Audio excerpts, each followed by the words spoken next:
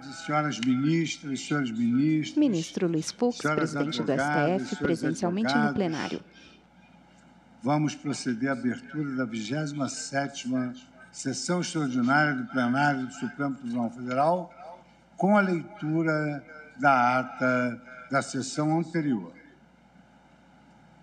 Ata da 25ª sessão ordinária do plenário do Supremo Tribunal Federal. Carmen Lilian Oliveira de Souza, assessora-chefe do plenário, está em pé à direita do ministro Luiz Fux. Presidência do senhor ministro Luiz Fux. Presentes à sessão os senhores ministros Gilmar Mendes, Ricardo Lewandowski, Carmen Lúcia, Dias Toffoli, Rosa Weber, Roberto Barroso, Edson Fachin, Alexandre de Moraes e Nunes Marques. Procurador-Geral da República, doutor Antônio Augusto Brandão de Aras. Abriu-se a sessão às 14 horas e 27 minutos, sendo lida e aprovada a ata da sessão anterior. Não havendo nenhuma observação, eu considero aprovada a ata. Fazendo uma resenha do julgamento de ontem. Presentes. Após no plenário, a ministra Rosa Weber, o ministro, ministro Luiz Roberto Barroso. Edson Fachin relatou que conhecia do recurso extraordinário. O julgamento foi suspenso para que Sua Excelência prossiga em relação ao mérito do recurso extraordinário. Por essa razão, para a continuação do voto, eu concedo a palavra à Sua Excelência, o ministro Edson Fachin. Muito obrigado, senhor presidente. Recurso Cumprimento Vossa Excelência, 1017, as eminentes ministros, eminentes ministros que compõem esse colegiado pleno do Supremo Tribunal Federal. Ministro Edson Fachin fala por videoconferência. Ao fundo, parede de madeira assim, e um quadro ao professor, centro. Professor doutor Augusto Aras, Procurador-Geral da República, também aqui presente, e todos os que acompanham esta sessão. Senhor presidente, Passo ao exame do mérito do recurso extraordinário. Plenário do Como STF julga assentou, recurso que discute o marco temporal para demarcação de terras indígenas. Por unanimidade à sistemática da repercussão geral. Tema 1031. Reconhecendo a relevância da questão constitucional referente à definição do Estatuto Jurídico Constitucional das relações de posse das áreas de tradicional ocupação indígena à luz das regras dispostas no artigo 231 da Constituição da República. Passo assim ao exame do tema à luz da hermenêutica constitucionalmente adequada do artigo 231 da Carta de 1988. A primeira questão que emerge para ser resolvida, em termos gerais, pode ser formulada na seguinte maneira de interrogação. Diante do julgamento da PET 3388, PET essa referente à Raposa Serra do Sol, o princípio da segurança jurídica impediria a revisão da matéria por esta Corte Constitucional uma vez que as 19 condicionantes já estariam sendo aplicadas pela jurisprudência e teriam sido internalizadas pela administração pública, apresento a resposta a essa e as questões adjacentes. E por isso, principio pelo julgamento da multicitada PET 3388. Como nos lembramos, durante os anos, ou em torno de 2008 e 2009, esse Supremo Tribunal Federal se debruçou sobre o caso Raposa Serra do Sol. E na PET 3388, emitiu decisão que apreciou a questão da demarcação das terras indígenas, especialmente no estado de Roraima, para assegurar aos índios as terras que ocupavam de modo tradicional, bem como seu modo de vida, estabelecendo 19 condicionantes para o reconhecimento da tradicionalidade da ocupação indígena em área cuja demarcação buscou o propósito de promover a pacificação daquela grave questão social. Referido julgamento, sem dúvida alguma, representou, em meu modo de ver, enorme avanço no sentido da garantia da tutela das comunidades indígenas à luz da Constituição da República. Escuso-me da leitura do julgamento, pois se trata de aresto por demais conhecido de todos. Agora, aqui, argumenta-se que, diante daquele julgado, o princípio da segurança jurídica impediria a revisão da matéria por essa Corte Constitucional, uma vez que as 19 condicionantes já estariam sendo aplicadas pela jurisprudência e teriam sido internalizadas pela administração pública. No entanto, duas razões levaram ao reconhecimento da repercussão geral do tema neste recurso extraordinário. E, em meu modo de ver, autorizam, portanto, que toda a problemática acerca da adequada e correta hermenêutica contida no artigo 231 do texto constitucional possa ser revisitada e apreciada pelo tribunal. As razões são as seguintes: em primeiro lugar, no julgamento dos embargos declaratórios opostos àquele acórdão decorrente do julgamento da PET 3388, nesse julgamento plenário do STF embargos, julga recurso que discute o um marco temporal para a demarcação de terras indígenas. Federal, assentou a impossibilidade de atribuição de efeitos vinculantes àquela decisão. E, para tanto, me permito aqui sim citar e ler trecho da emenda do referido julgado qual seja o julgamento dos embargos de declaração no caso Raposa Serra do Sol. Abro aspas.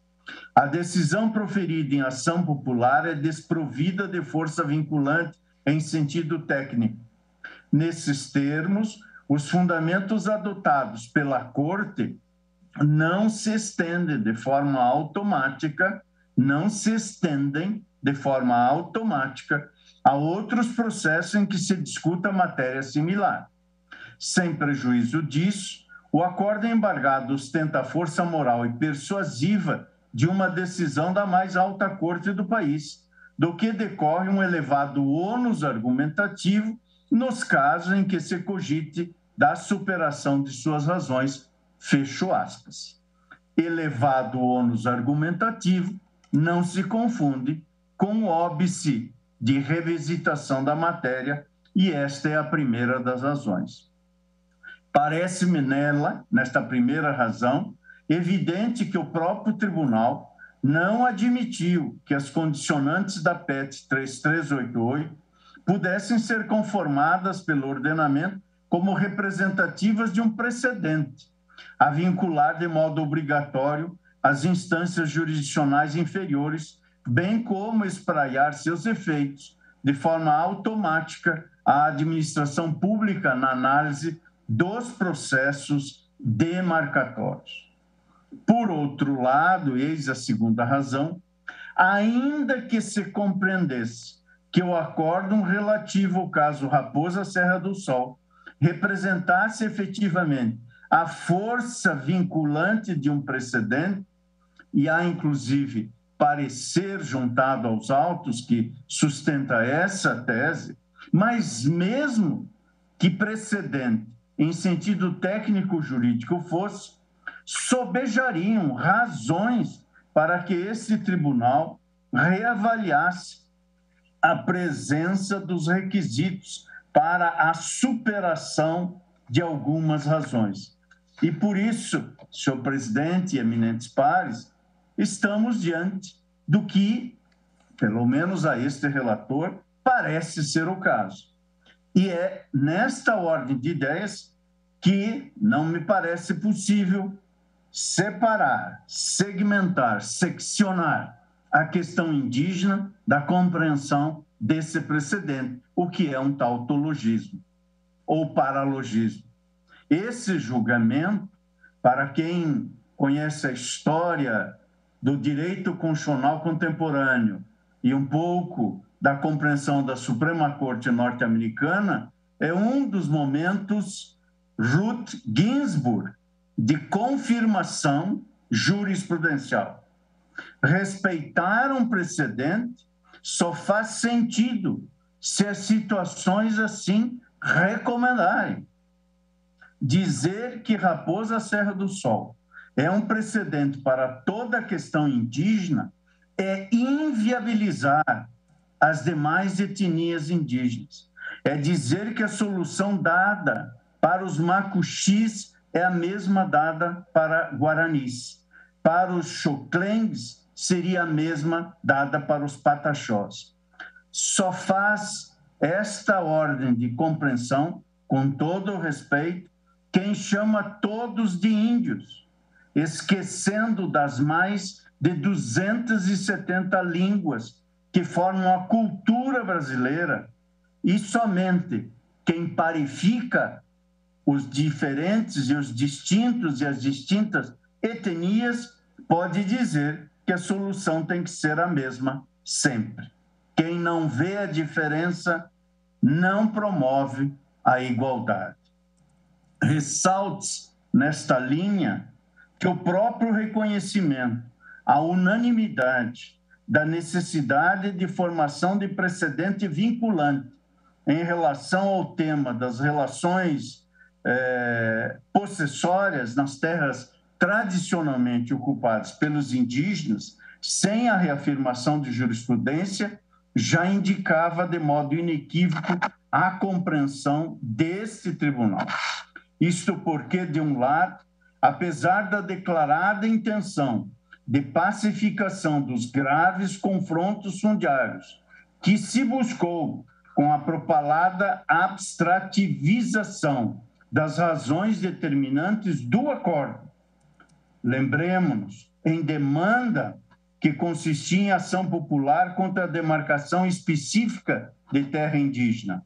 É notória, nada obstante, embora o intento louvável, desejável e almejável da pacificação dos conflitos fundiários, é notória a permanência de graves conflitos envolvendo as comunidades indígenas, as distintas comunidades indígenas de outras etnias, a demandar a demarcação de terras ou respeito às terras já demarcadas. Conflitos entre índios e não índios, e, portanto, mostrou-se oportuno em 2019 o que fez esse tribunal unanimidade qual seja de reconhecer repercussão geral em questão constitucional para compreender o estatuto jurídico constitucional da posse indígena dedutível do artigo 231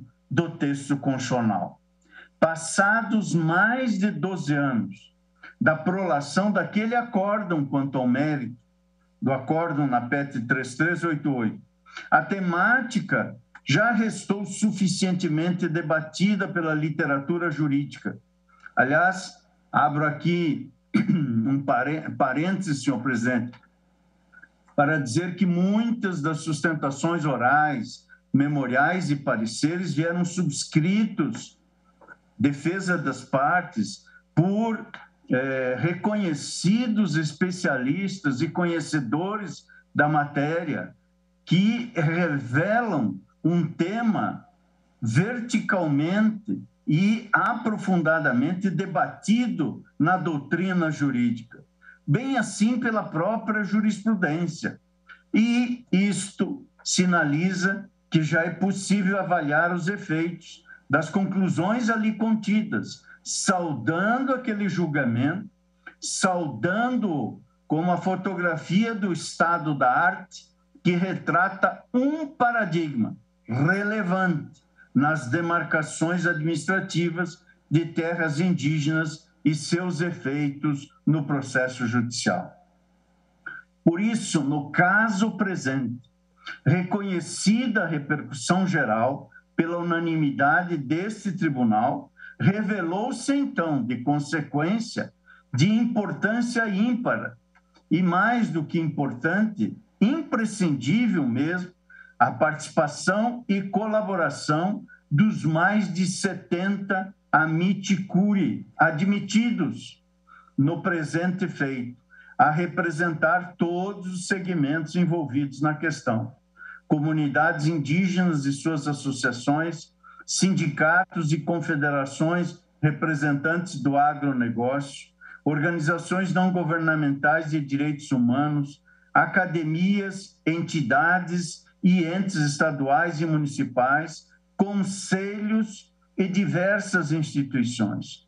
Trouxeram todos enorme contribuição para a configuração da questão indígena no Brasil na atualidade, em um diálogo fundamental para possibilitar uma decisão que enfrente hoje adequadamente o problema interpretativo colocado a debate.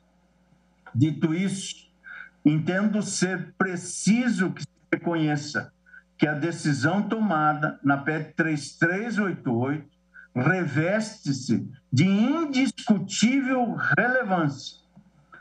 Nada obstante, mais de uma década desse lapso temporal transcorrido, longe de obter, em termos gerais, no Brasil, a pacificação propugnada, acarretou como consequência verdadeira paralisação das demarcações de terras indígenas no país, diante da assunção pela administração, administração pública, pela União, das condicionantes ali escritas, e a União o fez no parecer 001-2017 da Advocacia Geral da União, o que, a rigor, na prática, acirrou conflitos e trouxe uma piora sensível da qualidade de vida dos índios no Brasil longe de um consequencialismo no enfrentamento dessa matéria.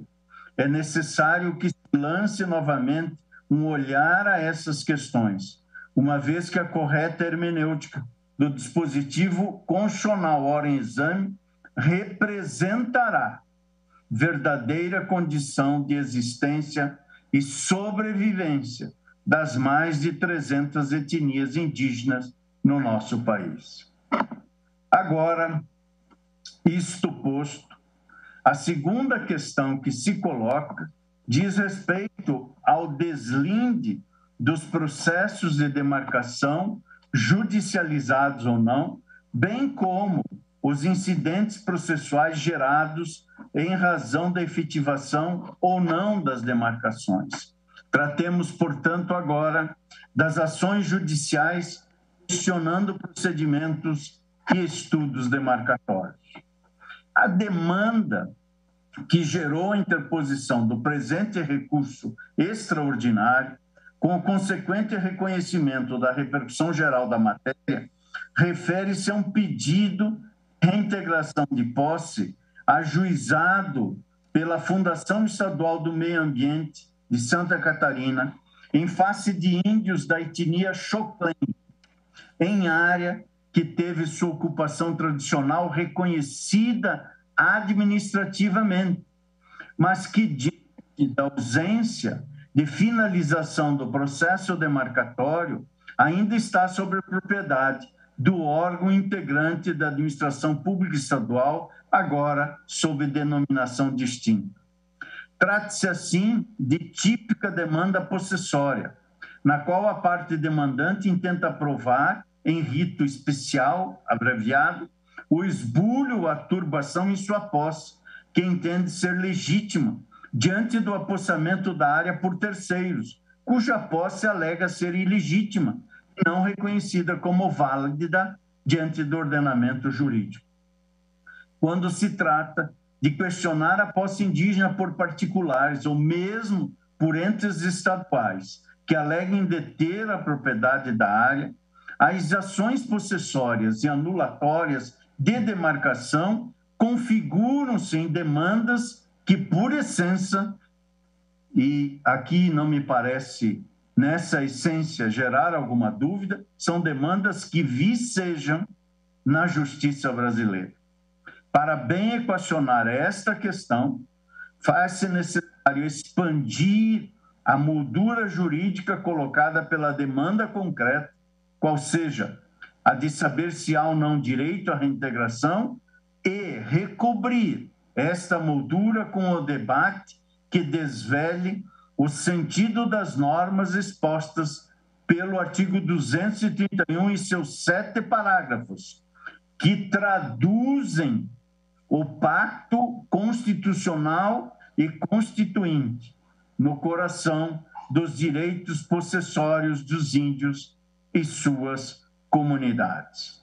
Dessa forma, é fato que as referidas ações judiciais, somadas àquelas que pugnam pelo cumprimento por parte da União e da FUNAI de sua função constitucional e legal, expõem a incúria por parte dos órgãos públicos em respeitar o disposto no artigo 231 do texto constitucional, no prazo que foi conferido pelo artigo 67 do ato das disposições constitucionais transitórias. Em pauta, Se recurso um extraordinário 1017365, FUNAI contra IMA de Santa Catarina. Prazo, plenário do STF julga recurso que discute o marco temporal para a demarcação de terras indígenas. A demarcação de suas terras, por não se tratar de prazo decadencial, mas programático. Lembro aqui a decisão no mandato de Quem segurança vota 24, é relator. Relator, eminente ministro Marco Aurélio, julgado esse mandato de segurança neste tribunal pleno em 22 de março de 2004. Portanto, se por um lado há esse reconhecimento de que não há prejuízo, de outra parte, o transcurso de quase 33 anos desde a promulgação da Constituição da República, com a progressiva redução orçamentária e mitigação do vigor administrativo de gestão imposto à autarquia destinada a efetivar as demarcações, revelam que os indígenas no Brasil permanecem, a par de cessado o regime tutelar anteriormente vigente, permanecem, dependendo das providências administrativas para haver concretizado o seu direito à terra. Logo, descumprindo-se a Constituição, não são feitos os estudos antropológicos, não se demarca, e seus servidores não possuem condições de levar a término todos os procedimentos demarcatórios em trâmite perante a FUNAI, a toda evidência essas demandas judiciais permanecerão a ocorrer com a judicialização de todas as fases do complexo processo de demarcação dessas terras. Portanto, em sede de repercussão geral configurada, parece-me ser tarefa deste tribunal desvelar as possibilidades hermenêuticas contidas no artigo 231 da Constituição da República, a guiar a interpretação constitucional e a projetar os seus efeitos de modo mais eficiente nos trâmites para o deslinde dos processos de demarcação, judicializados ou não, bem como de todos os incidentes processuais gerados em razão da efetivação ou não das demarcações. E para tanto, senhor presidente, cumpre afirmar que os direitos das comunidades indígenas, à luz da Constituição, constituem direitos fundamentais que garantem a manutenção das condições de existência e vida digna aos índios. Ao reconhecer a Constituição, sua organização social, costumes, línguas, crenças e tradições e os direitos originários sobre as terras que tradicionalmente ocupam, e eu fiz no artigo 231, a Constituição tutela aos indígenas brasileiros direitos individuais e coletivos a serem garantidos pelos poderes públicos por meio de políticas que preservem a identidade do grupo e seu modo de vida, cultura e tradições essa qualificação dos direitos territoriais indígenas como direitos fundamentais acarreta quatro consequências relevantes para o julgamento deste recurso extraordinário. Em primeiro lugar, incide sobre o disposto no artigo 231 do texto constitucional a previsão do parágrafo 4 do artigo 60 da Constituição, consistindo, pois, cláusula pétrea à atuação do constituinte reformador. Em segundo lugar, os direitos emanados do artigo 231 da Constituição, como direitos fundamentais, estão imunes às decisões com a potencial de coartar o exercício desses direitos, uma vez consistirem compromissos firmados pelo constituinte originário e compromissos também assumidos pelo Estado brasileiro perante diversas instâncias internacionais, como, por exemplo, a Convenção 169 da Organização Internacional do Trabalho e a Declaração das Nações Unidas sobre os Povos Indígenas. Portanto, consiste em obrigações exigíveis perante a administração pública, consistindo em dever estrutural a ser desempenhado pelo Estado e não uma obrigação meramente conjuntural.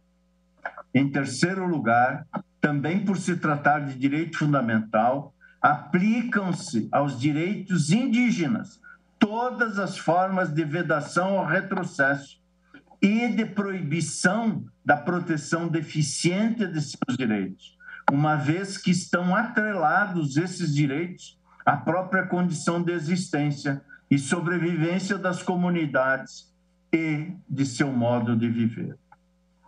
Finalmente, em consonância com o entendimento acima e, portanto, em quarto lugar, como quarta consequência de dessa configuração como direitos fundamentais, entendo, precisamente por se tratar de direito fundamental, que a interpretação adequada à aplicação do artigo 231 deve levar em consideração o princípio da máxima eficácia das normas constitucionais, pois, se nos termos do parágrafo 2 do artigo 5 do texto constitucional, os direitos e garantias expressos nessa Constituição não excluem outros decorrentes do regime e dos princípios por ela adotados, ou dos tratados internacionais em que a República Federativa do Brasil seja parte, faça então necessário manter coerência com uma hermenêutica que cumpra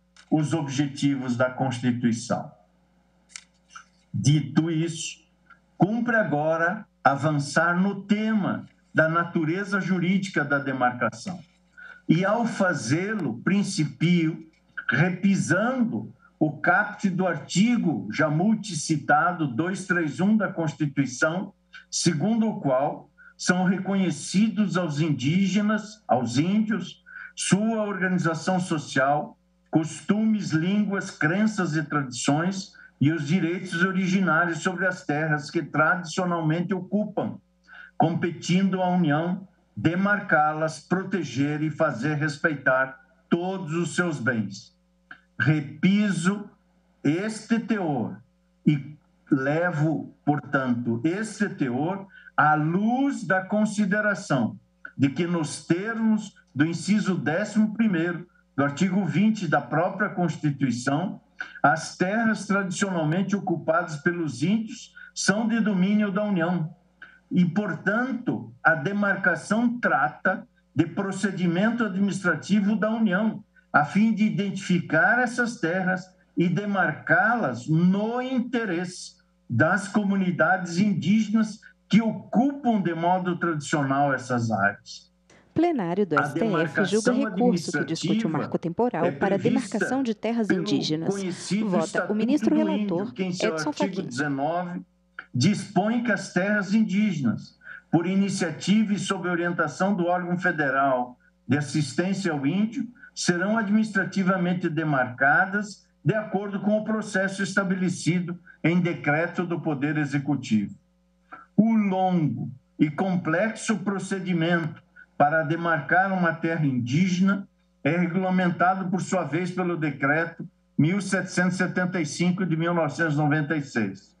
No entanto, como se depreende do próprio texto constitucional, os direitos territoriais originários dos índios são reconhecidos pela Constituição, mas pré-existem à promulgação da Constituição.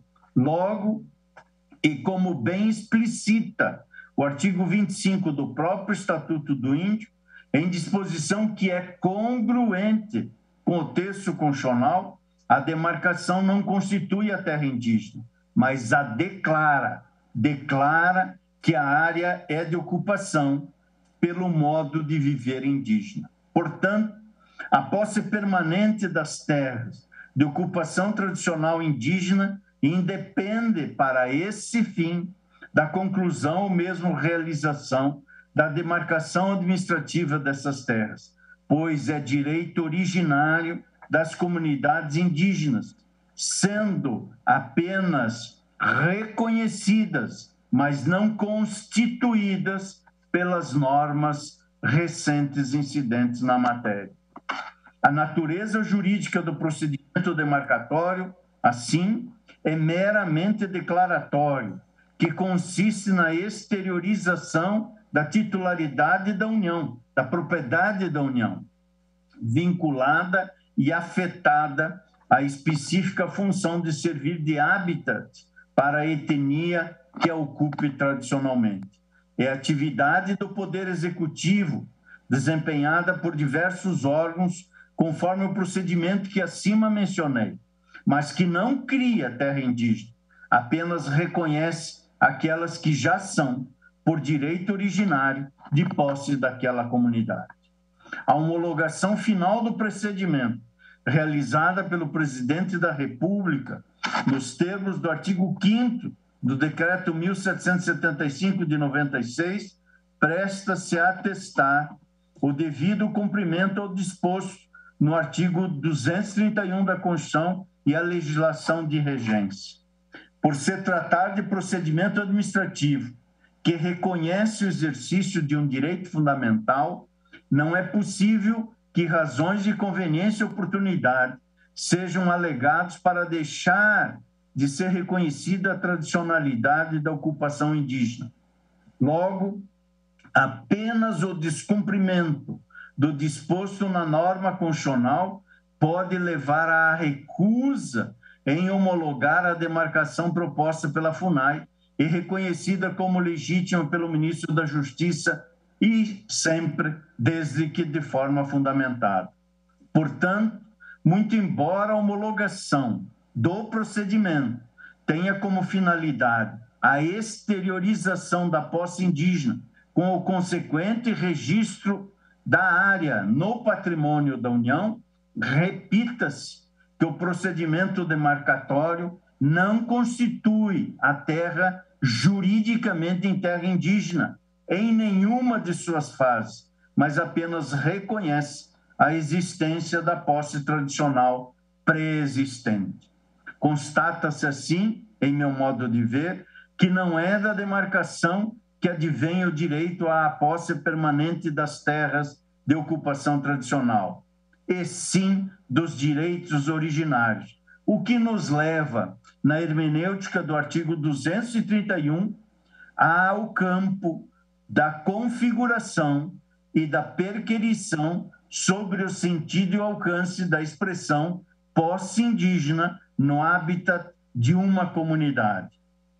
Nesse campo da posse indígena, cumpre afirmar que já restou assentado por esta corte que a posse indígena difere frontalmente da posse civil, não sendo, portanto, regulada pela legislação de direito privado vigente, mas sim pelas previsões constitucionais configuradoras do direito territorial indígena. A posse civil, como se sabe, efetivamente pode ser conceituada, e aqui uso as palavras da obra de Orlando Gomes, como um poder de fato, que corresponde ao exercício de uma das faculdades inerentes ao domínio, escreveu Orlando Gomes na obra Direitos Reais, que tive a honra de atualizar. O que é, aliás, definido pelo artigo 1196 do Código Civil. Trata-se, portanto, no âmbito do direito privado, da posse compreendida como projeção, em termos gerais, do próprio direito de propriedade, em especial porque o possuidor, não raro, é portador do título de domínio do bem. Ainda que assim não seja, o direito na posse civil é um direito patrimonial, particular, em regra transmissível, que recai sobre uma coisa ou bem no âmbito privado. Como assim operam os demais direitos reais e tem finalidade eminentemente econômica na dinâmica de circulação do mercado como objeto de venda, doação, permuta e assim por diante, devidamente funcionalizado como um reflexo do exercício dos poderes proprietários e das suas funções, nomeadamente a sua função social, consoante a hermenêutica do artigo 5 inciso 23 da Constituição da República. Assim, não se configura posse em terras indígenas.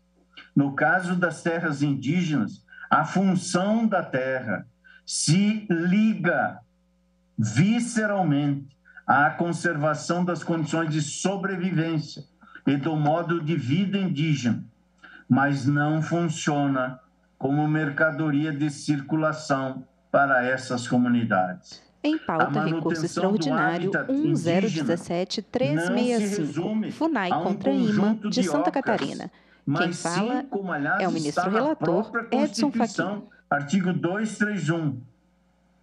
Não apresenta os elementos da posse civil e sim deságua na própria formação da identidade das comunidades dos índios e, deste modo, não se qualifica como mera aquisição do direito ao uso da terra.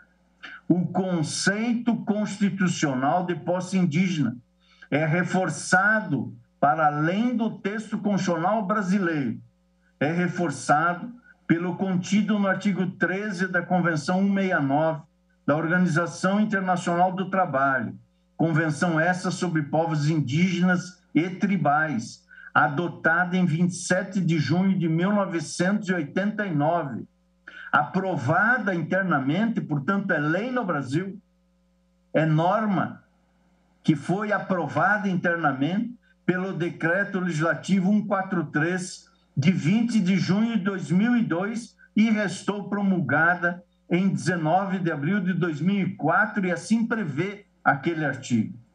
Ao aplicarem as disposições desta parte da convenção, os governos deverão respeitar a importância especial que para as culturas e valores espirituais dos povos interessados possui a sua relação com as terras ou territórios ou com ambos, segundo os casos, que eles ocupam ou utilizam de alguma maneira, e particularmente os aspectos coletivos dessa relação, fecho aspas. Portanto, ainda que pareça uma obviedade, cumpre assentar que a terra para os indígenas não tem valor comercial, como no sentido privado de posse civil. Trata-se de uma relação de identidade, que compreende espiritualidade e existência, sendo possível até mesmo afirmar que não há comunidade indígena sem a terra, que faz parte da sua constituição. E isso, de um ponto de vista étnico e cultural, inerente ao próprio reconhecimento dessas comunidades como povos tradicionais e específicos em relação a nós a sociedade envolvente. Cada povo indígena possui uma relação com o território que ocupa, e o disposto no artigo 231 do texto constitucional abarca, em meu sentir ao menos, toda essa pluralidade de relações de um povo indígena com a sua terra, com a natureza de onde retira o seu alimento, onde realiza sua arte e onde, enfim, todos os aspectos culturais e sagrados da comunidade se desenvolvem. Portanto, não é o conceito civil que deve guiar a delimitação da extensão de terras necessárias à ocupação tradicional dos índios, mas sim a investigação da posse indígena com todos os seus atributos. E por isso, cumpre agora, a fim de melhor compreender os requisitos da configuração da posse indígena, tutelada pela Constituição, rememorar o que está no caput do artigo 231, que reconhece aos índios os direitos originários sobre as terras que tradicionalmente ocupam. Esses direitos originários explicitam o conceito de ocupação tradicional. E, para isso, o parágrafo 1 do referido artigo 231 dispõe que são terras tradicionalmente ocupadas pelos índios, as por ele habitadas, por eles habitadas em caráter permanente, as utilizadas para as atividades produtivas, as imprescindíveis à preservação dos recursos ambientais necessários ao seu bem-estar e as necessárias à sua reprodução física e cultural, segundo seus usos, costumes e tradições. Muito embora a tese de que o fator primordial para a constatação da tutela desse artigo 231 da Constituição seria a presença física da comunidade indígena na área objeto da demarcação, em 5 de outubro de 1988, já tivesse sido aventada pela Corte em momentos anteriores, foi no julgamento da PET 3388 a primeira vez que esse debate expressa e especificamente veio a lume, em feito ao qual se intentou dar pretensão universalizante e que, a despeito de ter sido considerada a hipótese ali julgada pelo próprio tribunal como um deciso sem atribuição de eficácia vinculante, vem sendo assim aplicada nas várias instâncias do próprio Poder Judiciário. Como se depreende do trecho que antes citei, do capítulo do artigo 231, a intenção de pacificação social que dali emerge levou o intuito do tribunal ao afirmar aquela hipótese concreta, a não recepção da chamada teoria do indigenato e sua substituição pela teoria do fato indígena, que foi ali entendida como útil a encerrar os graves conflitos fundiários entre índios e não índios. Plenário do STF julga recurso que discute o marco temporal para a demarcação de terras indígenas. Quem vota é o ministro relator Edson Fachin. O tempo verbal e o seu verbo estão ali é, vertidos no vocábulo, ocupam a indicar, segundo o voto do ilustre relator da PET 3388, que estariam sob a proteção do dispositivo terras ocupadas no presente pelos indígenas, mas não aquelas ocupadas no passado e aquelas que podem ser ocupadas no porvir. O ministro Edson Fachin está numa sala com paredes de madeira ao fundo e um quadro colorido ao centro. Distinta, o ministro tem cabelos e bigode brancos. É um pouco calvo na parte da frente, usa óculos de armação fina, a direito fundamental escuro dos povos indígenas, e a toga por cima. além do risco de ineficácia da previsão constitucional, reduzindo as possibilidades de efetivação do direito à posse dos índios, o que não se coaduna com a ordenação constitucional, nomeadamente com a Constituição da Sociedade Democrática e do Estado de Direito Democrático de 1988. É evidente que não se trata de matéria que emergiu de inopino em 88, Desde o Brasil colônia, é possível afirmar a existência de atos normativos a reconhecer direitos territoriais dos índios às terras, mesmo que sem qualquer expedição de título possessório, uma vez que se trata de direito congênito, como dos primeiros ocupantes daquelas áreas. Como, aliás, mencionei ontem, o Alvará Régio de, 1680 também reconhecia de forma nítida a posse e o domínio sobre as terras, e assim o Alvará os denominava, que os gentios ocupavam. Nem mesmo a Lei de Terras, o chamado Código Imperial de Terras de 1850, a Lei 601, que se destinava a estabelecer os requisitos para a legitimação da posse em terras públicas no Brasil, nem mesmo a Lei de Terras infirmou a posse congênita indígena sobre as terras que ocupava. Para tanto, basta ver que o referido diploma inaugurou o conceito de terras devolutas, como definidas no artigo 3. E no artigo 12, a lei que acabo de referir, a 601, determinava a reserva de terras distinta das terras consideradas devolutas. Vale dizer, devolutas, terras disponíveis do espaço público para apropriação particular, mas distintas das terras destinadas aos índios. Mais adiante, a Constituição de 1891, ao ensejo da inauguração da República Brasileira e da organização do sistema federativo, conferiu aos estados as terras devolutas localizadas em seus territórios. Desses diplomas legislativos, depreendo que o direito dos indígenas à posse e uso das terras que ocupavam.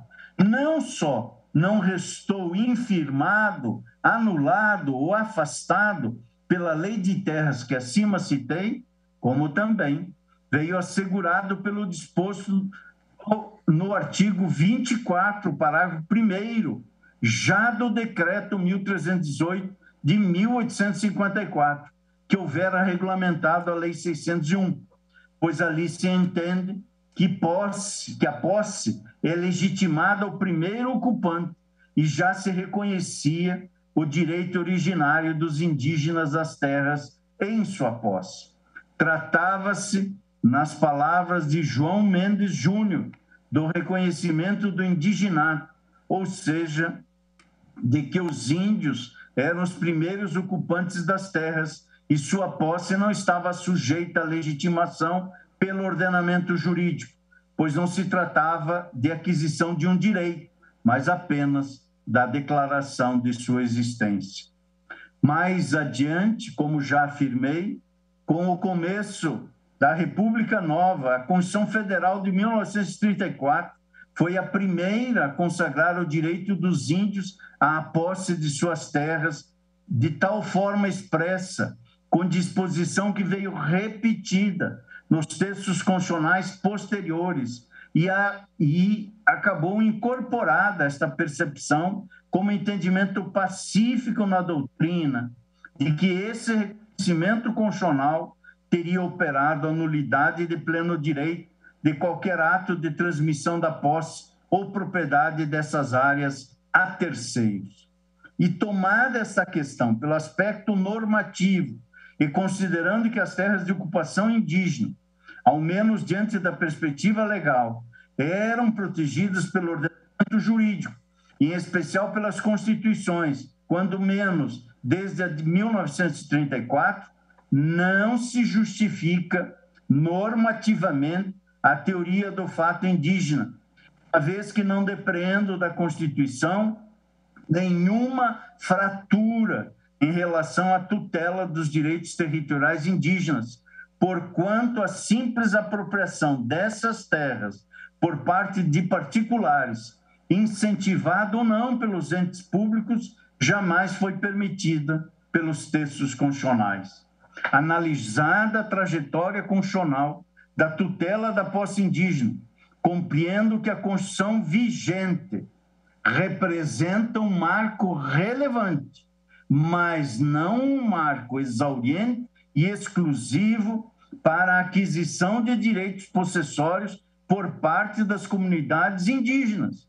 Eis que o que se dá em 1988 é o reconhecimento de um contínuo, uma sequência da proteção já assegurada pelas cartas constitucionais, quando menos, desde 1934. E que ali, em 88, num contexto do Estado de Direito Democrático, ganham novas garantias e condições de efetividade para o exercício de seus direitos territoriais. Direitos esses que não tiveram início apenas em 5 de outubro de 1988. Nessa perspectiva de continuidade, na qual jamais se constitucionalizou a posse dessas terras por parte de terceiros não índios, não se pode juridicamente inferir do texto atualmente vigente a ilação de que se teriam por legitimados os atos de retiradas dos indígenas das terras de sua posse tradicional. É certo que, a despeito da proteção constitucional e legislativa, os índios foram efetivamente desapossados de grande parte do território tradicional, num primeiro momento para utilização como mão de obra e depois para a tomada das áreas para ampliação do território nacional habitado e sua respectiva utilização. Para ficar apenas na análise do período republicano, são por demais conhecidas as atrocidades causadas aos índios, práticas como atração indígena para a liberação das terras ocupadas, como a que ocorreu com a etnia Choclen, que é litisconsorte passiva nesse feito, como bem demonstrou o importante relatório da também importante Comissão Nacional da Verdade. Não é necessário um tracejar histórico mais específico, inclusive porque as diversas contribuições dos Amit Curi muito bem delinearam todas as mazelas das quais índios e comunidades foram vítimas na Assembleia Constituinte, que gestou a Constituição Cidadã de 1988, emergiu no texto constitucional a concretização expressa dos direitos territoriais às terras de ocupação tradicional. Logo, dentro de uma hermenêutica constitucionalmente adequada à interpretação e à aplicação de um direito fundamental que se enquadra numa continuidade protetiva desde a Carta de 1934, não depreendo da redação do caput do artigo 231 da vigente Constituição a restrição do direito à posse permanente e tradicional apenas àquelas comunidades indígenas que estivessem na posse mansa e pacífica da área na data da promulgação do texto constitucional. Ademais, em consonância com o entendimento que manifesto, entendo que, por se tratar de direito fundamental, a interpretação adequada à sua aplicação, como já disse e reitero, deve levar em consideração o princípio da máxima eficácia das normas constitucionais. Inclusive porque a legitimação da posse obtida por meio violento, injusto, não é admitida sequer pela legislação civil, como prevê o artigo 1200 do Código Civil, reputando que somente é justa a posse que não for violenta, clandestina ou precária.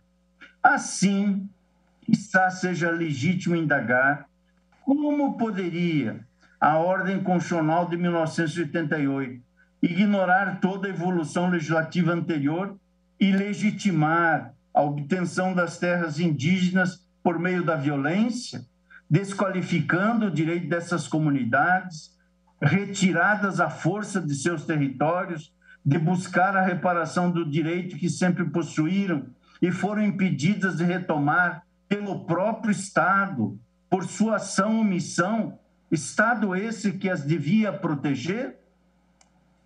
Ressalto que a teoria do marco temporal deixa insolúveis algumas questões fundamentais para a qualificação da posse indígena. Primeiramente, aponto que a Lei 6001 de 1973, conhecida como Estatuto do Índio, dispõe em seu artigo 21 sobre as terras abandonadas voluntariamente pelos índios, que retornariam à posse e ao domínio plenos da União. Logo, se se aplica a teoria do marco temporal e não se verifica a presença indígena na data de 5 de outubro de 88 numa área específica considerada, não é suficiente apontar que aquela terra não seria indígena. É então necessário, nessa hipótese, questionar-se de quem seria a titularidade da área que deveria ter revertido ao patrimônio público federal, uma vez ser impossível a uso capião de terra pública. Como acima se apontou, terra indígena não é terra devoluta. Assim, as terras não podem ter ingressado no patrimônio estadual e, portanto, no, ou no patrimônio estatal, lato sensu, e, portanto, não podem ter sido legitimamente transferidas ao patrimônio privado. Ademais, a teoria do marco temporal, com todo respeito, parece-me não considerar em sua formulação a situação dos índios isolados, ou seja, comunidades indígenas de pouco ou nenhum contato com a sociedade envolvente, ou mesmo com outras comunidades indígenas. A compreensão de uma sociedade plural e de respeito à diversidade, que é essa que está na Constituição. A sociedade da Constituição é uma sociedade aberta, plural, tolerante, que respeita a diferença, em que cada um tem o direito de ser o que é na exata medida que respeita o direito de outrem, para que ele seja de acordo com o seu projeto de vida. Portanto, esta sociedade estatuída pela Constituição, que separa os pactos emancipatórios da barbárie, exige essa Constituição que se respeite o direito à autodeterminação desses povos mantendo-os fora do contato constante com outras pessoas, em respeito ao seu modo de vida e evitando sua dizimação, como ocorreu notoriamente em nosso país com comunidades contatadas ao longo da história. Portanto, assegurar aos índios os direitos originários as terras que tradicionalmente ocupam não se confunde com o usucapião imemorial, que exigisse de forma automática a manutenção da presença indígena na área na data exata de 5 de outubro de 1988, considerando-se a ausência de descontinuidade da proteção constitucional na prática e também legal na prática ou na ausência dela, desse direito ao longo da história brasileira, bem como abusos, invasões e desterritorializações ocorridos à margem da lei, mas que não considero tenham sido legitimados ou legitimadas pelo ordenamento jurídico. E não se trata de assegurar fraudes ou de possibilitar a titulação de comunidades que não estejam vinculadas a esse passado de existência e resistência a um modo de vida tradicional indígena. Trata-se da sociedade envolvente. Se mostrar respeitosa no âmbito da sociedade plural, para que nós possamos nos elevar ao estatuto jurídico de uma sociedade que não se miscui na barbárie e que tem como marco o respeito ao direito fundamental aos grupos étnicos, o que significa, em caso contrário, fechar-lhes a esses grupos a porta para o exercício completo e digno de todos os direitos inerentes à sua respectiva condição de cidadania. Dito isso, e colocadas as questões nesta medida, analiso agora, senhor presidente, um aspecto específico do julgamento da PET 3388, que diz respeito à configuração do esbulho. Naquele caso, na PET 3388, se compreendeu que esse direito não se perderia.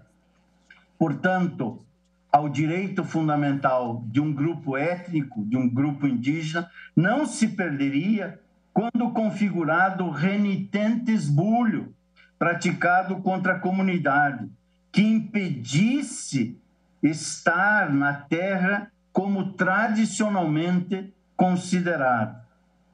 O acórdão, como sabemos, não fixou critérios estanques para o reconhecimento do renitente esbulho.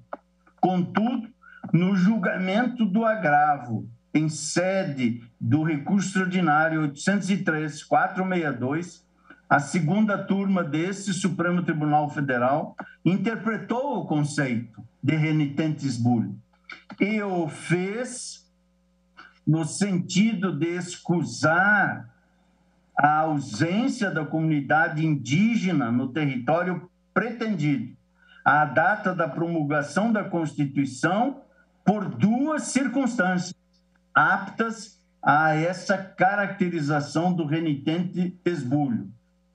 De um lado, controvérsia possessória judicial, ou, de outro, conflito deflagrado na área. Ambas as hipóteses segundo aquele julgamento, tendo perdurado até 5 de outubro de 1988.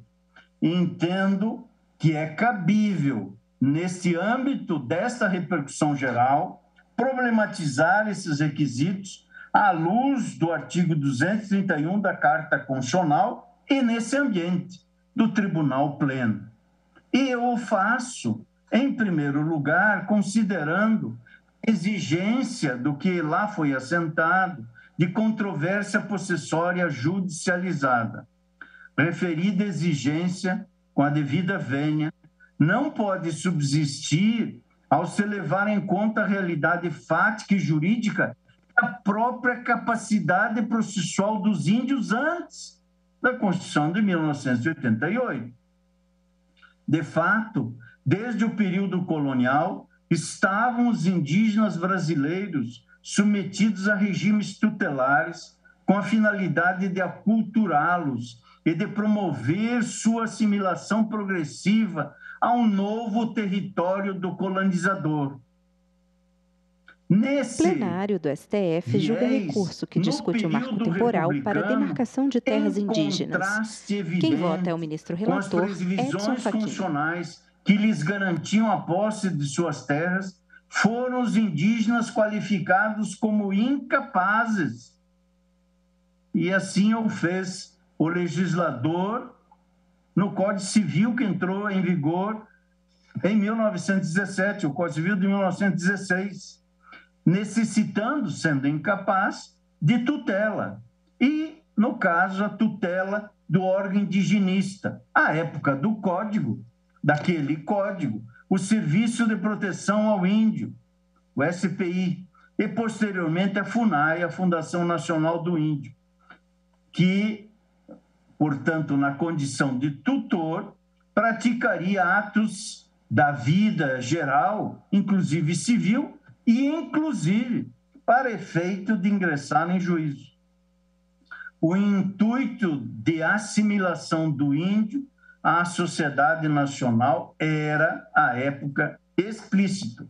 E restou ainda mais nítida a postura integracionista do Estado brasileiro com o Estatuto do Índio, que estimulava o progressivo abandono da condição de indígena para a aquisição plena da capacidade de possuir direitos.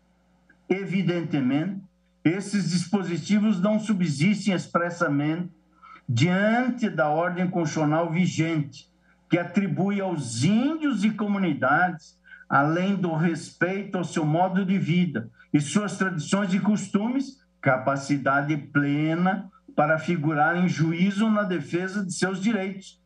É a regra expressa do artigo 232 da Constituição.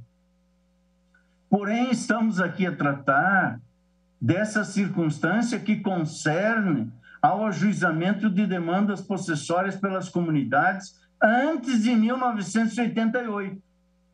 O cenário, portanto, acima traçado, permite inferir que os índios quase que nunca se utilizariam desse recurso. Em primeiro lugar, porque se tratava de um modo de resistência integrante do modo de ser da sociedade envolvente, mas não dos indígenas, que possuem outras formas tradicionais de resolução de conflitos.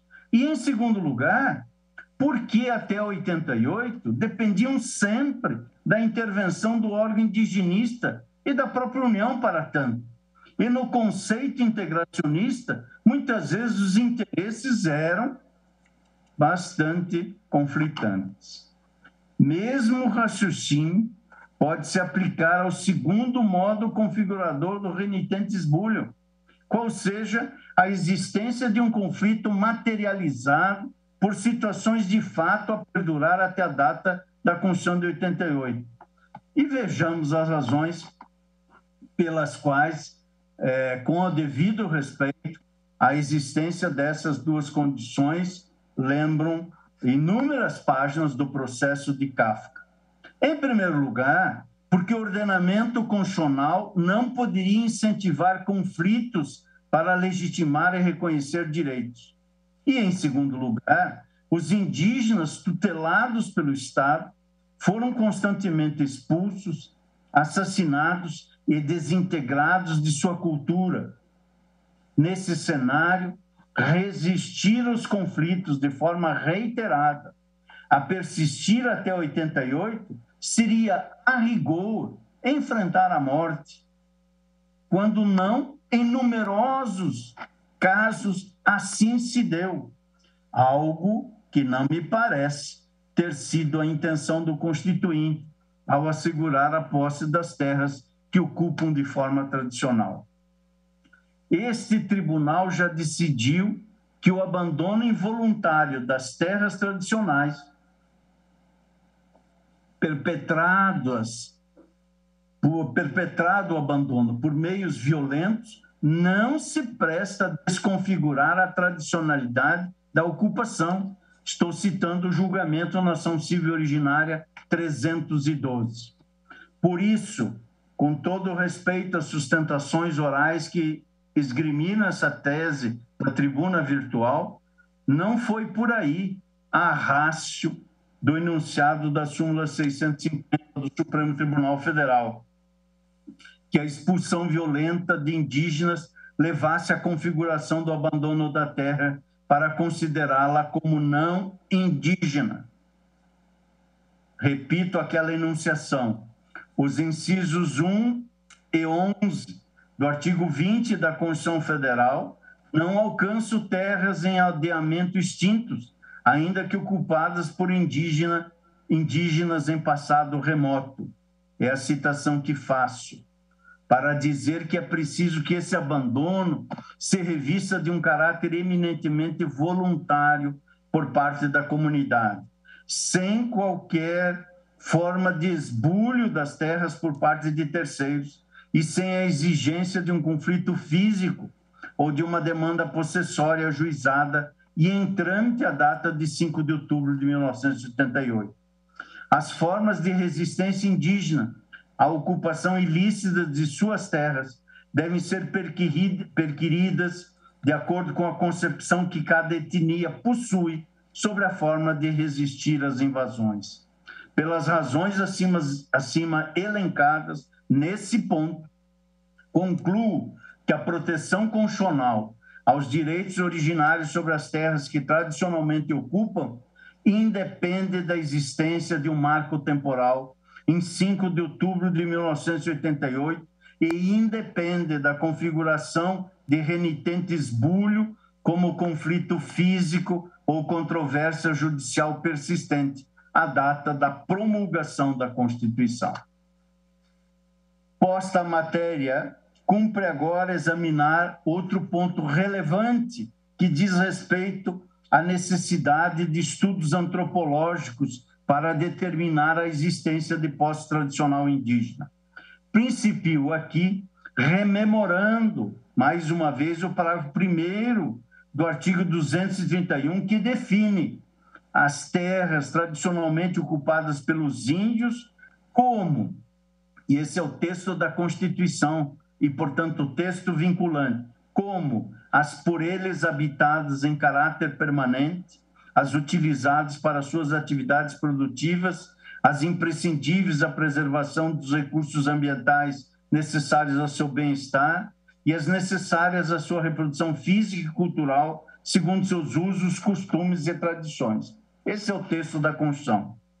A fim de localizar, delimitar e definir todos esses elementos conjuntamente e sem nenhuma preponderância de um sobre os demais, o decreto 1775 de 96 elege o laudo antropológico como instrumento para a demonstração de que a área é de posse tradicional indígena.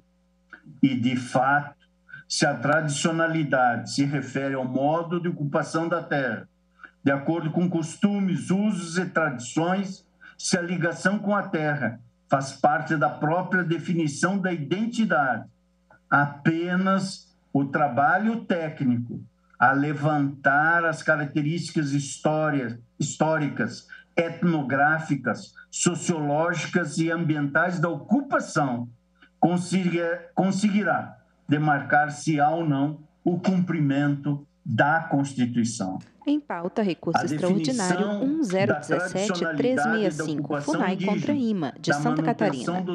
Plenário do STF julga recurso que discute o marco temporal para a demarcação de terras portanto, indígenas. Não envolve apenas uma conceituação formal, mas exige a demonstração por laudo técnico nos termos do decreto que antes mencionei, com a participação da comunidade afetada e também sem dúvida, da sociedade envolvida nos termos ali delineados. Logo, abarcar o pluralismo constitucional, que compreende a distinção dos modos de vida indígena, das várias etnias e comunidades, com terras ainda por demarcar, exige que o julgador valore o trabalho técnico antropológico como sendo aquele apto a demonstrar a tradicionalidade da posse indígena, a ligação com o território, de acordo com os usos, costumes e tradições, de modo a perfazer os requisitos da lei constitucional, ou seja, do parágrafo 1 do artigo 231 da Constituição Federal. Outro ponto de relevo no julgamento da PET 3388 diz respeito ao redimensionamento das terras indígenas. Naquela PET, a vedação, a ampliação das terras indígenas foi incluída como uma das 19 salvaguardas institucionais à parte é, inseridas na parte dispositiva. Fundada na consideração de que a posse tradicional seria um fato verificado na data de 5 de outubro de 1988, considerou-se ser vedada a ampliação de terras. Não se trata aqui, meu modo de ver, de considerar hipótese de conveniência e oportunidade do administrador ao revisar o ato administrativo, pois em se tratando de terras indígenas, de direito fundamental dos povos indígenas, todos os estudos devem estar jungidos a demonstrar a efetiva ocorrência das características do parágrafo 1 do artigo 231, inexistindo espaço para avaliação discricionária. Entretanto, especialmente em se considerando a possibilidade de que muitas terras indígenas tenham sido demarcadas sem observância estrita do artigo em comento, por exemplo, sem laudo antropológico a afirmar a correta extensão das terras tradicionais, compreendo que a realização de reestudos para o adequado dimensionamento da ocupação tradicional em tais áreas, desde que realizados em processo administrativo demarcatório, nos termos da legislação de regência, não encontra vedação constitucional. Este tribunal já admitiu que inconstitucionalidades flagrantes não se submete a quaisquer prazos decadenciais ou prescricionais, como, aliás, recentemente eh, julgamos no recurso extraordinário 817-338, em 16 de outubro de 2019, neste plenário. Portanto, se demonstrada flagrante inconstitucionalidade no que concerne ao cumprimento do artigo 231 da Constituição Federal, incorrendo em prejuízo às comunidades indígenas que se viram alijadas de parte de seu território tradicional, não compreende existir vedação a eventual redimensionamento das terras já demarcadas. Ressalto, no entanto, que referido procedimento deverá ser precedido de um conjunto de providências ou seja, do próprio procedimento administrativo demarcatório, previstos o procedimento e as providências no decreto 1775 de 1996. Ademais, os, cumpre aqui assentar que os demais parágrafos contidos no artigo 231 se configuram em desdobramentos da própria tutela possessória indígena. Me refiro ao usufruto exclusivo e à posse permanente. Os desdobramentos que explicitam o exercício da posse indígena são necessários. A uma, porque se trata de uma posse qualificada, distinta da posse civil. E, em segundo lugar, porque se trata de domínio da União, ou seja, a propriedade da área não pertence formalmente à comunidade indígena, mas é afetada à ocupação tradicional indígena. O plenário do STF julga recurso que discute o marco temporal para a demarcação de terras indígenas. Quem vota é o ministro relator, Edson Fachin. do grupo indígena com usufruto exclusivo do solo, rios e lagos ali existentes por não se tratar de posse com finalidade mercantil, mas de hábitat para a comunidade, segundo seus usos, costumes e tradições, a Constituição vigente, essa que está em vigor e é vinculante, assegura a posse permanente das terras, evitando assim que a etnia seja reduzida ou mesmo desapareça pela desterritorialização bem como que toda a cultura daquela comunidade se desenvolva e seja transmitida para gerações futuras, dado o vínculo indissolúvel entre os índios e seu território. Dessa feita, asseguram seus indígenas o uso e fruição das riquezas do solo, rios e lagos existentes na terra indígena. E isso, de forma exclusiva, é o que diz a Constituição o que significa a impossibilidade de concessão de qualquer forma de direito real ou pessoal sobre essas riquezas a terceiros externos à comunidade indígena, em favor da qual se configure a ocupação tradicional, ou mesmo a realização de atos negociais com os índios, que lhes retire a condição de usufrutuários exclusivos da terra a mesma rácio, a mesma razão de ser, informa o disposto nos parágrafos 3, 5 e 7 daquele dispositivo constitucional, com a garantia de oitiva prévia, de escuta prévia das comunidades afetadas em caso de aproveitamento de recursos hídricos e pesquisa e lavra de riquezas minerais, desde que haja aprovação específica do Congresso Nacional e participação na lavra na forma da lei. Vedação de remoção das comunidades indígenas de suas áreas em razão da posse permanente exclusiva, fora das hipóteses constitucionais, assegurado o retorno tão logo cessada a causa da retirada provisória e ainda vedação à garimpagem em terras indígenas. Tudo a corroborar a posse permanente com usufruto exclusivo das riquezas naturais pelos índios.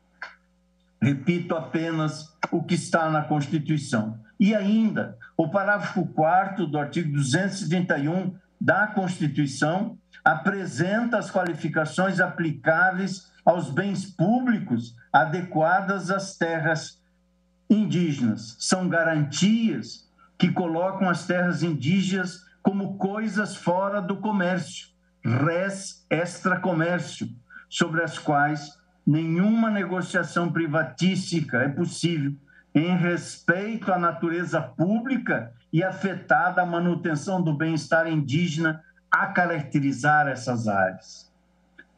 O que leva, portanto, à questão da nulidade dos títulos particulares incidentes sobre terras indígenas. A previsão contida no artigo 6 do artigo 231 da Constituição de 88 possui conteúdo bastante semelhante àquele já contido na carta derivada da emenda constitucional 1 de 69, em seu artigo 198, parágrafos 1 e 2. Referida previsão foi reforçada pelo disposto no artigo 62 do Estatuto do Índio. Nada obstante, é possível afirmar que a nulidade dos títulos particulares em terras indígenas, considerada a sua proteção constitucional desde a Constituição de 1934, operou-se a partir dessa Carta Constitucional, ainda que expedidos em período anterior, pois se as terras indígenas não eram, como não são, terras devolutas, não poderia haver concessão a particulares, a menos que se tratasse de aldeamento extinto, de forma voluntária. A Constituição, portanto, repete o preceito que, em nome da posse tradicional indígena, compreende ser nulo e extinto o título dominial possessório incidente nessas áreas afetadas à manutenção do modo de vida das comunidades indígenas. Desta forma, compreende-se que a cadeia dominial de determinada área, por si só considerada, não tem o condão de impedir procedimento demarcatório, diante da existência de direito originário à posse das terras tradicionalmente ocupadas, da proteção constitucional e normativa desse direito, desde antes do período republicano, bem como da consideração de que o texto constitucional reconhece a posse mas não a constitui, donde não ser possível a existência de posse ou propriedade privada em terras indígenas. Por essa razão, não se visualiza hipótese de conflito entre o direito de propriedade e a proteção à posse tradicional indígena, uma vez que o próprio texto constitucional já asseverou a consequência do reconhecimento da tradicionalidade de ocupação indígena em determinada área, a não mais subsistirem títulos privados nesta terra ou nessas terras. Outro aspecto referente a essa disposição que está na Constituição e que decorre da nulidade dos títulos dominiais é a impossibilidade de se pleitear indenização ou ação em face da União em razão da nulidade da extinção do título proprietário ou possessório, salvo quanto às benfeitorias derivadas de ocupação da boa-fé. E quanto à boa-fé, é relevante que se acentue que a possibilidade de indenização por ato ilícito ou ato lícito danoso, como alguns Estados-membros fizeram a trabalhadores, produtores e agricultores de boa-fé, é a possibilidade de indenização na alienação de terras a não dôminos, especialmente a esses adquirentes de boa-fé, em ação própria de natureza eminentemente reparatória, é questão a ser amadurecida pela doutrina e pela jurisprudência, mas não aparenta colidir, em meu sentir, com a vedação da concessão de indenização pelo fato de encontrar-se a área inserida em terra indígena. No em pauta, entanto, recurso extraordinário 1017-365, FUNAI contra IMA de Santa Catarina. Quem vota é o ministro relator Edson Com a exclusão dos particulares da terra demarcada sem direito à retenção pela terra nua ou prejuízo ao exercício dos direitos possessórios das comunidades indígenas com fundamento no artigo 231 do texto constitucional. Ademais, senhor presidente, eminentes ministros e eminentes ministros, acentua ainda a questão relativa à compatibilidade entre a ocupação tradicional indígena, segundo seus usos, costumes e tradição e tradições, e a proteção ao meio ambiente, que aliás foi reconhecida essa compatibilidade no julgamento da PET 3388. A regulamentação normativa da matéria foi realizada no âmbito federal pelo Decreto 7477, de 5 de junho de 2012, que instituiu a Política Nacional de Gestão Territorial e Ambiental de Terras Indígenas. O acórdão prolatado na PET 3388 compreendeu ser possível a dupla afetação de área ambientalmente protegida, mas colocando-a sob a administração do órgão de defesa ambiental, ouvidos os índios e a FUNAI a respeito das questões referentes à proteção ambiental. Nesse ponto, afirma, em primeiro lugar, que a tutela constitucional dos direitos possessórios indígenas dá-se considerando o modo de vida típico de cada comunidade, em atenção aos seus usos, costumes e tradições. A relação cosmológica dos índios com a terra, com T maiúsculo, leva à proteção também das áreas imprescindíveis à preservação dos recursos ambientais necessários ao seu bem-estar. A manutenção de um meio ambiente equilibrado é essencial para o desenvolvimento das atividades de caça, pesca, cultivo, além das espirituais e culturais das comunidades indígenas. Logo, não há mesmo incompatibilidade entre os artigos 231 e 225 da Constituição, pois os índios detêm, por certo, todo o interesse na proteção dessas áreas, porque é a proteção de si próprios, a manutenção das florestas, da biodiversidade, de rios e lagos despoluídos, asseguram o direito ao usufruto exclusivo das riquezas naturais, mantendo a qualidade de vida dessas comunidades. A dupla afetação em terras indígenas e áreas de proteção ambiental não é inviável, ao revés, como demonstra o diploma normativo acima citado. Nada obstante, em se considerando o direito originário das comunidades indígenas, as políticas de proteção ambiental não podem interferir no exercício das atividades tradicionais dos índios e dessa feita e levando-se em conta que incumbe à União a proteção dos bens indígenas, também incumbe-se da manutenção das unidades de conservação. E por isso não compreendo existir incompatibilidade na chamada dupla afetação da área, assegurado o direito das comunidades indígenas participarem das decisões acerca da gestão de tais unidades. Assim, configurados os elementos constitucionais que definem a posse indígena, retorno neste passo à questão relativa às ações possessórias que pleiteiam manutenção ou reintegração de posse às áreas de ocupação tradicional indígena essas ações, como antes afirmei, a rigor revelam a incúria, a omissão e a negligência por parte dos órgãos públicos em respeitar o artigo 235 da Constituição no prazo que foi conferido pelo artigo 67 do ato das disposições constitucionais transitórias. Nesta dimensão, é fundamental rememorar que os direitos territoriais indígenas são originários e não são constituídos pelo processo demarcatório. E, nesta medida, os atos que tenham por objeto posse, domínio, ocupação dos territórios indígenas são nulos e extintos nos termos do parágrafo 6 do artigo 231, vigente desde 5 de outubro de 1988.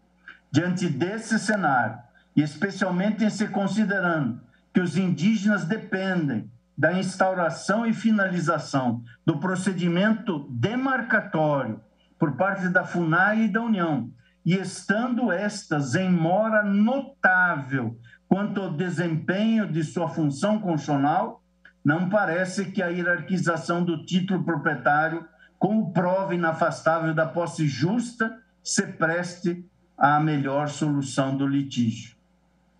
Levando-se em consideração todo acima exposto, é imprescindível asseverar que as ações possessórias presentes em nosso ordenamento processual civil não são adequadas para o tratamento de litígios com tal envergadura constitucional. Nada obstante, a regra há de ser observada diante das seguintes dimensões, aptas para que o juízo analise essa espécie de litígio, ainda que processo de rito abreviado, considerando os elementos caracterizadores da posse indígena, levando em conta que a demarcação consiste em procedimento declaratório do direito originário territorial à posse das terras ocupadas tradicionalmente por, por comunidade indígena. Considerando ainda que a posse tradicional indígena é distinta da posse civil. Considerando ainda que a data da promulgação da Constituição de 88 não constitui marco temporal para a aferição dos direitos possessórios indígenas, considerando ainda que não se exige para a demonstração do renitente esbulho a instauração de demanda possessória judicializada à data da Constituição de 88 ou mesmo conflito fático persistente em 5 de outubro de 1938, considerando ainda também o laudo antropológico, nos termos do decreto que antes mencionei, como elemento fundamental para a demonstração da tradicionalidade da ocupação de comunidade indígena determinada de acordo com seus usos, costumes e tradições, e também levando em conta, por derradeiro, no juízo que apreciará esse tipo de litígio, que o redimensionamento de terra indígena não é vedado em caso de descumprimento dos elementos contidos no artigo 231 da Constituição da República por meio de procedimento demarcatório nos termos das normas que se aplicam às demarcações. Ademais, o Código de Processo Civil vigente, na inspiração de nosso presidente, ministro Luiz Fux, e de todos os membros da comissão elaboradora, trouxe louvável disposição aplicável aos litígios coletivos, o que projeta a sua incidência, nomeadamente do artigo 536 do Código de Processo Civil a essa matéria, a fim de compatibilizar a proteção constitucional aos direitos originários indígenas com os elementos acima expostos, entendo serem esses elementos condício sine qua non, condição de validade das decisões em ações possessórias e contrapõe o direito civil à posse indígena. O mando para a conclusão, senhor presidente. Quanto ao recurso específico da FUNAI, pugna a FUNAI pela anulação ou reforma do acórdão recorrido a fim de fazer valer a autoridade do artigo 231 da Constituição da República, que teria sido violado pelo acórdão que foi prolatado pelo TRF da quarta região neste caso. O que disse o Ministério Público, a Procuradoria-Geral da República, em sua manifestação nos autos? reproduzo o aresto proferido pela Corte Regional, confirmatório da sentença de procedência da demanda processória proposta pela Fátima, adotou entendimento segundo o qual a ausência de conclusão de processo administrativo demarcatório inviabiliza o reconhecimento da tradicionalidade da ocupação indígena sobre determinada área. Em consequência, continua a Procuradoria da República nesse parecer que está no EDOC 84 dos autos. Em consequência, conferiu primazia a título de propriedades pedindo favor de terceiro, em detrimento da portaria do ministro da Justiça, que, amparado em estudo antropológico de identificação, declarou que a área objeto da disputa possessória é tradicionalmente ocupada pelos grupos indígenas Xoclém, Caigangue e Guarani. E conclui a Procuradoria no trecho que eu estou citar. O Tribunal ACO, ou seja, o TRF da Quarta Região, no caso, considerou ainda que a necessidade de preservação do meio ambiente recomendava o deferimento de proteção possessória à Fátima contra a comunidade indígena Choclen. Esse é o trecho que cito. O acórdão, portanto, enfrentou a questão referente à interpretação do alcance do artigo 231 da Constituição Federal no que concerne a sua compatibilização com a previsão constitucional do direito de propriedade, conferindo primazia ao título de domínio e à questão ambiental. Contudo, a subsistirem esses parâmetros, entendo que se deixará de considerar minimamente a pré-existência do direito originário sobre as terras tradicionalmente ocupadas. Por isso, no recurso extraordinário, a autarquia indigenista pugna pela aplicação do princípio da proporcionalidade em virtude de ocupação de parcela relativamente pequena da chamada reserva biológica dos sassafrás. Levando em conta, em consideração ao que antes expus e considerando que a demarcação declara e não constitui posse, considerando a plena compatibilidade entre os direitos possessórios dos índios e a afetação de glebas para preservação ambiental, depreendo na decisão violação ao contido no artigo 231 do texto constitucional, pois a par da discussão judicial acerca da validade do procedimento demarcatório, os atos relativos a litígio coletivo em matéria possessória não foram observados no acórdão recorrido. Por isso, por esta razão, levando em conta, portanto, que se afastou o que não poderia ter ocorrido, direito originário, e se conferiu hierarquia de um valor da tutela ambiental e de outro valor a proteção dos títulos de domínio em relação àquele direito originário, proponho a este tribunal anular a decisão recorrida e determinar ao tribunal de origem a prolação de nova decisão com base nos pressupostos que antes delineei em seis itens especificamente. Assevero ainda que o adequado cumprimento da Constituição é regra primordial para a manutenção de um Estado democrático de direitos. Não desconsidero a complexidade da situação fundiária brasileira. Menos ainda se desconhece a ampla gama de dificuldades dos produtores rurais de boa fé. No entanto, segurança jurídica não pode significar descumprir a Constituição.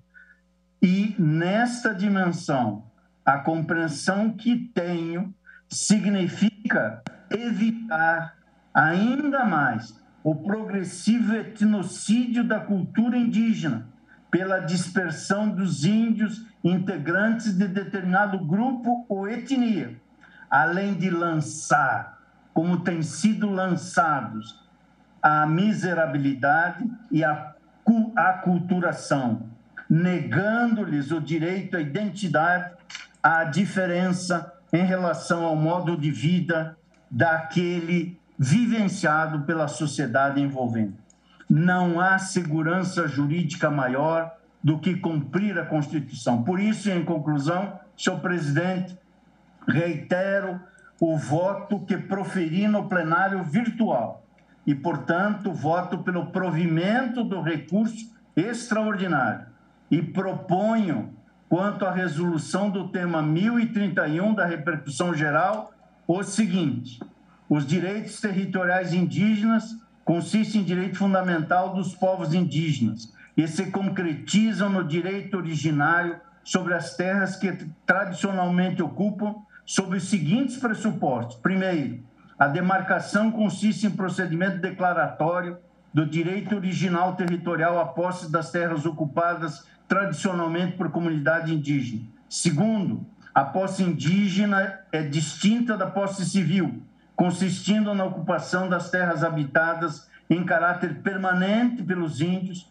das utilizadas para suas atividades produtivas, das imprescindíveis à preservação dos recursos ambientais necessários a seu bem-estar e das necessárias à sua reprodução física e cultural, segundo seus usos, costumes e tradições. Terceiro, a proteção constitucional aos direitos originários sobre as terras que tradicionalmente ocupam, independe da existência de um marco temporal em 5 de outubro de 1988. Quarto, a proteção constitucional aos direitos originários sobre as terras que tradicionalmente ocupam, independe da configuração do renitente esbulho ou de conflito físico ou controvérsia judicial persistente à data da promulgação da Constituição. Quinto, o laudo antropológico é elemento fundamental para a demonstração da tradicionalidade da comunidade indígena, de acordo com seus usos, costumes e tradições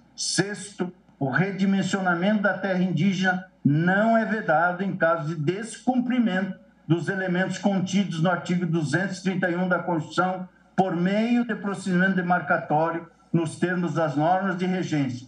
E, em sétimo lugar, que as terras indígenas são de posse permanente da comunidade, cabendo aos índios usufruto exclusivo das riquezas do solo, dos rios e lagos nela existentes. E, em oitavo, que as terras de ocupação tradicional indígena são inalienáveis, indisponíveis e os direitos sobre elas imprescritíveis. E, em penúltimo lugar, que são nulos e extintos, não produzindo efeitos jurídicos, os atos que tenham por objeto a posse, o domínio, a ocupação das terras de ocupação tradicional indígena ou a exploração das riquezas do solo para os nela existentes.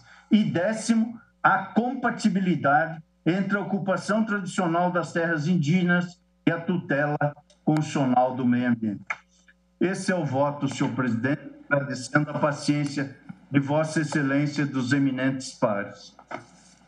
Agradeço a Vossa Excelência, ministro Edson Fachin, ao mesmo tempo que cumprimento pelo voto minudente e extremamente erudito que Vossa Excelência acaba de produzir sob o ângulo histórico e jurídico e proclama um resultado parcial de que Vossa Excelência anulou o acórdão, dando provimento ao recurso ordinário para anular o acordo nos termos do seu voto. É, tendo em vista o horário, eu, eu suspendo a sessão pelo tempo regimental para após escolhermos os votos subsequentes.